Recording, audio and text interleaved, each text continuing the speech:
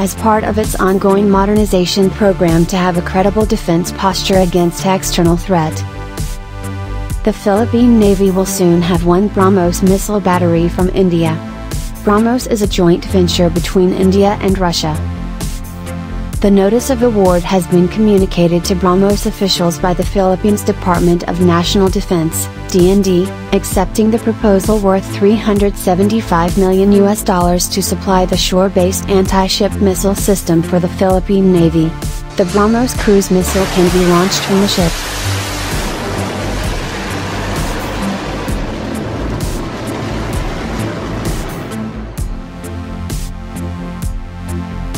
The missile can also be launched from a submarine.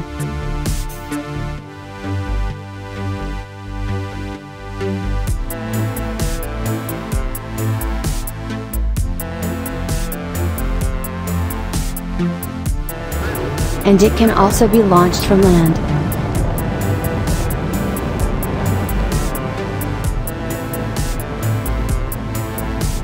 India's first indigenously developed anti-radiation weapon. That is all for now and please don't forget to like and subscribe. Thank you for watching. Please like and subscribe.